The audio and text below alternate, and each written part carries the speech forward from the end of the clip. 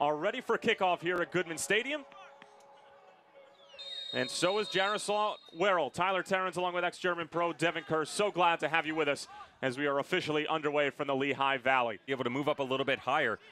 But unfortunately, again, going into a lot of draws within that seven-game unbeaten streak.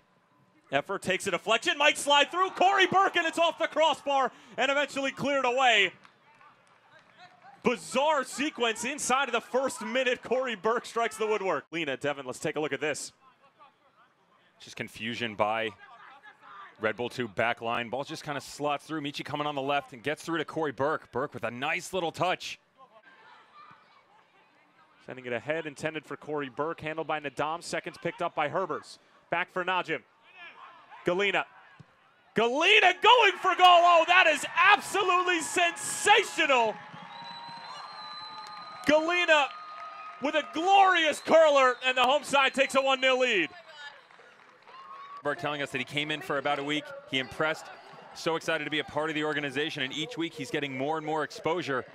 Talk about exposure. In his MLS debut against the Portland Timbers back on March 10th. Getting some deserved time with John Wolyniec's side now, though, as Corey Burke turns, fires, and a big save from McCarthy. John Wolyniec is going to give Stefano Bonomo an opportunity to make an impact up top. Very quiet here this evening. He's got Tom Barlow on the bench. Herbers sent along by Corey Burke. Fabian Herbers off the post and in. It's a lightning strike from the Bethlehem Steel created by Corey Burke, finished by Fabian Herbers. It's a 2 0 lead for Bethlehem in the 64th. Classes in session for Bethlehem Steel. Fabian Herbers going the other way. He had a struggle in the first half.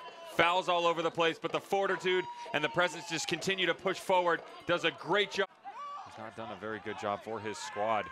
The youngster proving that he needs a little bit more. Najem lets it run through Adam Najem. Exclamation point. Bethlehem Steel make it 3 0 against New York Red Bulls 2. Adam Najem, who already had an assist, gets his goal. Three points in the back for Bethlehem. Jordan Scarlett, Hassan Ndam, all of which pointing fingers at each other. The entire back line is in disarray. You can see Ethan Cutler coming into the picture at the end and just way too many white shirts around Adam Not. That's going to do it. Brendan Burke's squad with their first win of the season against a team that's not named the Richmond Kickers. Win number three on the season. They dismantle New York Red Bulls 2 by a score of 3 to 0.